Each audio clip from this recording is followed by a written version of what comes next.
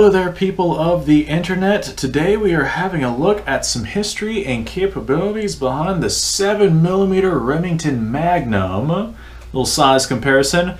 This is 7mm Remington Magnum compared to 30-06. Uh, comparing 30-06 to other cartridges we have seen, the 7mm Remington Magnum is pretty on par with our 30-06. I'm doing this video series in an effort to earn my way up to 100,000 subscribers by going through a bunch of different cartridges and talking about uh, some history and uh, capabilities behind the round and whether or not they would make good hunting cartridges. So if you like this kind of stuff, subscribe to the channel, help me reach that 100,000 subscriber mark because you are among the right crowd and, uh, well, we all like the same things. So let's go ahead and have a look at a little bit of history behind the 7mm Remington Magnum and why it actually exists. So this is a round that came about in 1962 and it was designed by Les Bowman. I hope I'm pronouncing his name correctly. L-E-S Bowman. And he made it essentially because the 300 Weatherby Magnum, uh, which was a cartridge that we actually covered in this little video series before this uh, before this episode, uh, that right there was a little bit too powerful and a little bit too uh, too much recoil, too much too much everything. It was a little bit too much. The 300 Weatherby Magnum is an absolutely insanely powerful cartridge. As a matter of fact, little recap: that 300 Weatherby Magnum sends a 150 grain projectile traveling at about a little bit under 3,600 feet per second. That is an insanely powerful cartridge right there. And there's a lot of people out there who, uh, well, wanted something not necessarily that powerful, but more powerful than, say, the commercially available 30 odd 6. And so Les Bowman in 1962 ended up coming out with the 7mm Remington Magnum. As a matter of fact, it was this cartridge right here that made Winchester launch uh, in 1963 the 300 uh, Winchester Magnum. Both of them are going to be belted cartridges, which does make reloading these a little bit more on the difficult side, but it is absolutely still doable. So this right is a cartridge that is still very predominant even to this day. Uh, I actually know several hunters who use 7mm uh, Remington Magnum here in the state of Florida. It's not as powerful as 300 Win Mag, not even close to as powerful as 300 Weatherby Mag, but it is a good, uh, what would you call it, Goldilocks area between the two cartridges. Deer here in the state of Florida don't really get to be that big, and we don't really shoot beyond 100 yards in most of our jungle-filled wildlife management areas, which is where most people go to hunt. And uh, the 300 uh, Winchester Magnum is a little bit too much power. Uh, 30 6, 30 6 I'd say would be like the good gold standard of uh, cartridges if you're going to go to uh, just a generic de facto cartridge for here in Florida. But some people like a little bit more power just because sometimes boars here can get to be a little bit sizable depending on where it is that you go to. And this right here, the 7mm Winchester or 7mm Remington Magnum, is a very, very, very good way to get a powerful cartridge without going into the realms of being like ridiculous for the area that we are currently in. You hit like a 60 pound pig, which is what we have around here in the state of Florida. You hit a 60 pound pig with a 300 Weatherby Magnum, and that thing's going to absolutely turn into mist. So that's definitely overkill. So 1962 is whenever this cartridge ended up coming out, and I got a couple of different velocities and grain weights for projectiles that you can expect to see whenever it comes to the performance of this cartridge.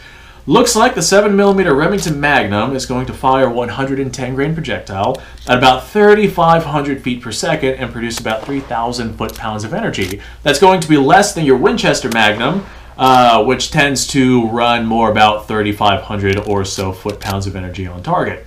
Now, if we're going to compare apples to apples, bump up the weights a little bit, uh, and we're going to look at 150 grain projectiles from our from our from our from our uh, 7 millimeter Remington Magnum. Uh, this right here is going to send out 150 grain projectile about 3,100 feet per second, a little bit faster than a commercial load from a 30-06, which tends, tend, tends to stem more around the realms of uh, uh, 3,000 feet per second for a 150 grain projectile.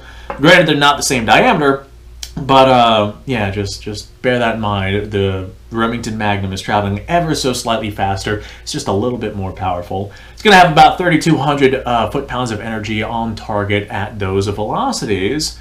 Now, for comparison's sake, the 300 Win Mag, that 150 grain projectile is going to be traveling at about 200 feet per second faster than the Remington Magnum, it's going to have about 2,600 or so foot-pounds of energy onto its target.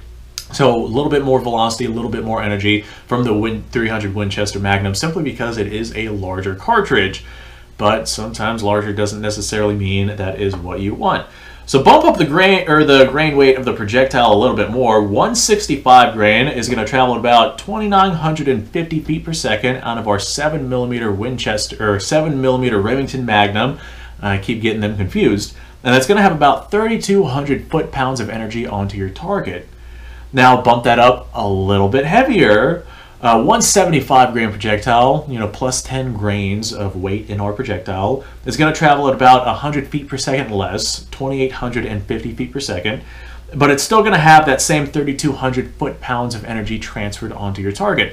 As a general rule, you want to have about a thousand foot-pounds of energy onto uh, a deer if you're going to be going after deer. You can absolutely do it with less energy transferred onto the target, but a general rule of thumb, that's about what you want to have a thousand foot-pounds of energy being uh, considered to be uh, the minimum.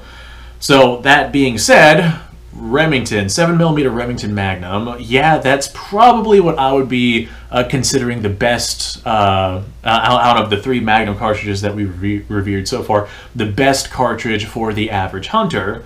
Uh, if you're going after particularly large game or you're going after uh, things that are particularly far away, then you might want to go ahead and look more into something that is a little bit more powerful. Like if you're going after things in Africa, then the 300 Weatherby Magnum might be more up your alley.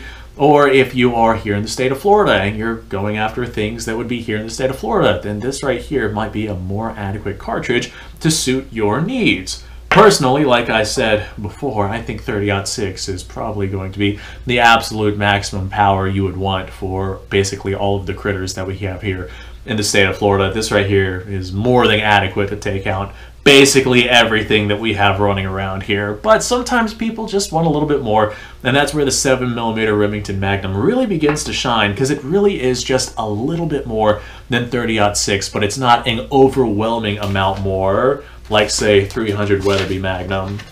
So 300 Weatherby Magnum, yeah, that 150 gram projectile is like 3,600 feet per second. Bump that up to a 180 grain, you're still traveling at 3,250 feet per second.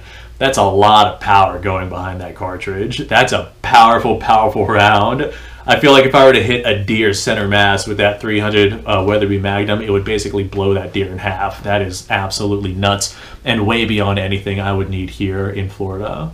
So all this being said, thanks for watching folks. I've pretty much covered everything I want to cover with this cartridge. Hopefully this video earns your subscription and hopefully you learned something. Uh, like, subscribe, share. Description below has linked all sorts of stuff. Go check it out. You guys go off, have yourself a fantastic day, and I will see y'all on the next episode.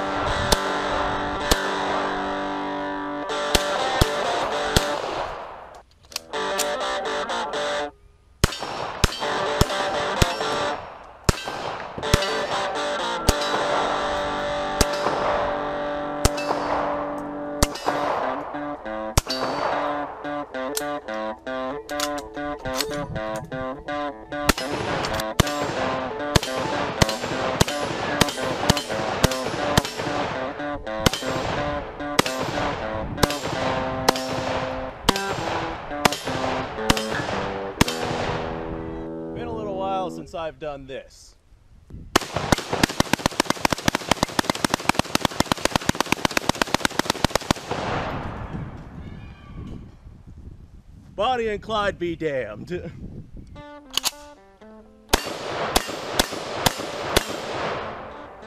poor man's Garrett.